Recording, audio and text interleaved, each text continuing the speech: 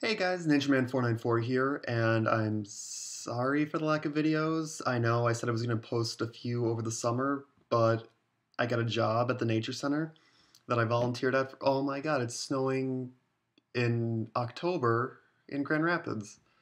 Anyways, I'm back at school at Grand Valley State University, and it's been a real pain in the butt to get stuff done.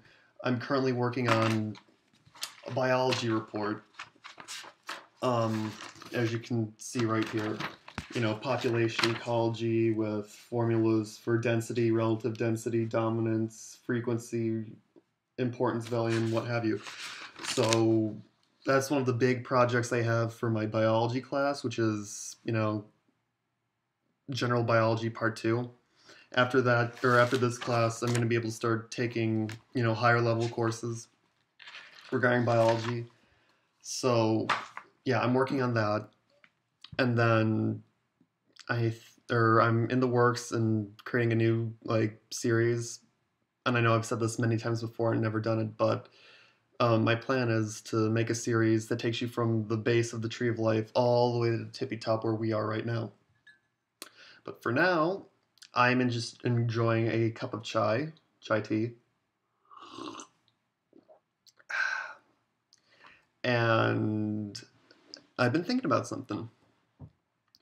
A while ago, well, it wasn't quite a while ago, it was in my Monday biology lecture. Ooh, birds.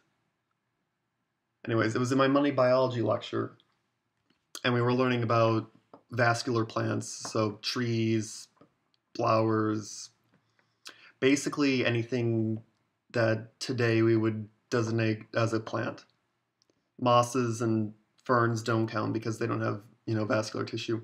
But anyways, my biology teacher, really cool guy, our homework assignment was to look at a pine tree. Just look at it.